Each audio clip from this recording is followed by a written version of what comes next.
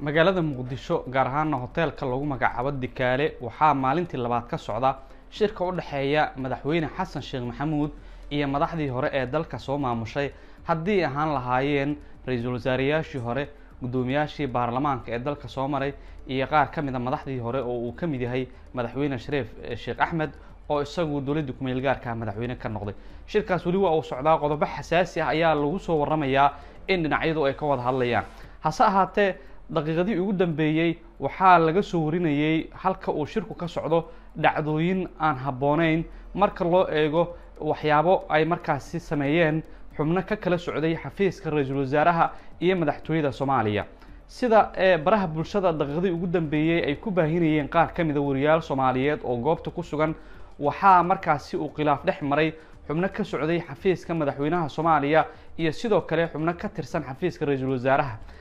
haddaba sidee ayay dhacdadaasi u dhacday? Maxaa kalifay? Gacanqaadka dhex maray? Xubnaha labada xafiis ka kala tirsan sidee ayayna ugu dambeyn ku dambeysay xaaladda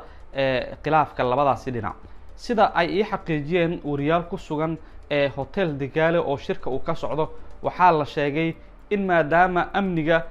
guud ahaan halka uu shirka ka soconayo gaar ahaana goobta ay sida gaarka ah madaxda ugu shirayaan ay maamulaan ciidanka koofiya casa loo yaqaano ee madaxtooyada soomaaliya ka tirsan waxaa la sheegay in xubnaha xafiiska madaxweynaha ka tirsan ay iyagu awood ka badan marka loo fiiriyo xafiisyada kale ee dowladda in halka ay ku leeyihiin. Waxaana dhacday sida xubnaha goobta ku sugan ay ila wadaageen markii ay xaroodeen mas'uuliyiintii ee dowladda ee madaxweyne xasan iyo ra'iisul wasaare xamse cabdi barre ay ka mid ahaayeen in halkaa laga hor istaagay in ay gudaha u galaan mas'uuliyiintii xafiiska ra'iisul wasaaraha ka socday gaar ahaana farxaan maxamed jimcaale oo qeybta warfaafinta ee madaxtooyada soomaaliya haystay ayaa la sheegay in uu isku dayay inuu gudaha u galo. Waxaa la sheegay markii hore in ciidanku ay ka hor istaageen kadibna waxaa la sheegay in uu wadahadal dhex maray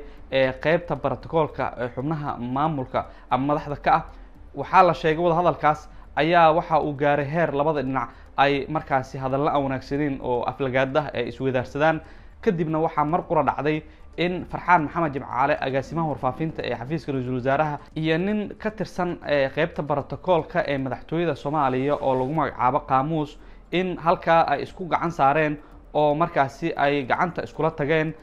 Kadibna waxaa dhacday in muddo daqiiqada ah halkaasi uu buuq ka taagnaa kadibna halkaasi ayaa la sheegay in lagu dhex galay oo markaasi la kala qabtay iyadoo xitaa ay gaartay in ciidankii ka socday xafiiska ra'iisul wasaaraha iyo kuwii madaxtooyada ay markaasi isku qoryo isku taagaan oo ay wax yar looga baxsaday in rasaas halkaasi ay ka dhacdo iyadoo madaxdii dowladda soomaaliya iyo siyaasiyiintii soomaaliyeed ay shirka ku sugan yihiin. Waxaa la sheegay oo wariyaasha goobta ku sugan ay la wadaageen in farxaan maxamed jimcaale uu markaasi gacanqaadka ku horreeyey islamarkaana uu ka carooday iyada oo dhigiisii xafiiska warfaafinta ninkii xafiiska warfaafinta ee madaxtooyada soomaaliya qofka mas'uulka ka ah waa cabdiqaadir dige in markaa uu isagu gudaha ku sugnaa isagana loo diiday oo uu banaanka ay ciidanka ku celiyiin taas ayaa la sheegay inuu ka carooday oo uu dalbaday in maadaama dhigiisa uu gudaha ku jiro isaguna uu xaq u leeyahay inuu gudaha markaasi galo oo markaasi uu xaaladda shirka iyo macluumaadka la xiriira uu markaasi ay waajib tahay inuu ogaado si warbaahinta madaxa bannaan ee hoteelka buux dhaafisay macluumaadkaasi ula wadaago. Laakiin qeybta brotocoolka ee madaxtooyada mas'uuliyiinta maamula ay diideen oo si aan habbooneyn ula dhaqmeen farxaan maxamed jimcaale taasina waxaa la sheegay inay keentay inuu gacanqaad sameeyo oo halkaa ay isku fiiraan shaksigaasi lagu magacaabo qaamuus oo isagu hore ula soo shaqeeyey madaxweynihii hore ee soomaaliya maxamed cabdullaahi farmaajo dabeeqadii ama bilowgii labada kun iyo labaatankii ayayna ahayd markii sidan oo kale baraha bulshada ay qabsatay muuqaal uu ninkan qaamuus lagu magacaabo ka soo dhex muuqanayay isaga oo markaa xilligaa isku dayey in uu si awooda uga markaas uga gudbo albaabada laga galo madaxtooyada soomaaliya. Mid ka mid a oo ciidankii halkaasi jooga ay ka codsadeen in uu iskaanka maro laakiin markii uu diiday ayaa la sheegay inay ka hor istaageen taasina waxaa keentay in uu sidaan oo kale buuq sameeyo. Xilligaana madaxweyne farmaajo ayaa la sheegay inuu tallaabo ka qaaday. Mar kale ayuuna nasiib u yeeshay in uu la shaqeeyo qaamuus madaxweyne xasan sheekh maxamuud. Dhacdadan ayaana dhacday. Dadka yaqaana ninkaasi waxa ay sheegeen inuu yahay nin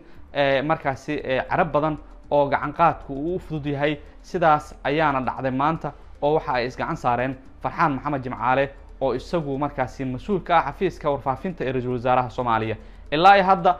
ma la sheegin wax tallaabo ah oo ay qaadeen madaxda sare ee maamulo xafiisyada ra'iisul wasaaraha iyo madaxtooyada oo ku wajahan dhacdadan iyo sidii aanay mar kale u soo laaban lahayn. Wixii macluumaad ay ku soo kordha guud ahaan shirkaas wararkeena ayaan idkula wadaagi doonaa